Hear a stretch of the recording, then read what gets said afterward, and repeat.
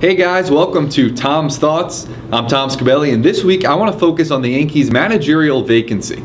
As we all know by now, the Yankees made the somewhat surprising decision to let go of Joe Girardi after an overachieving season that left them just a win shy of the World Series.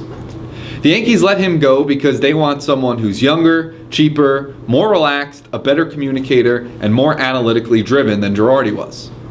That's why the Yankees should hire Raul Ibanez as their next manager. Ibanez is just 42 and played in the majors as recently as 2014. That will go a long way in his ability to connect with the Yankees' many younger players. Also, he's fluent in Spanish. The Yankees have several young Hispanic stars like Gary Sanchez, Luis Severino, Gleyber Torres, and others. Being able to speak their native tongue will really help him give them instruction. Also, handling the media should be no problem for Ibanez. He was known as media friendly during his career and has a relaxed demeanor.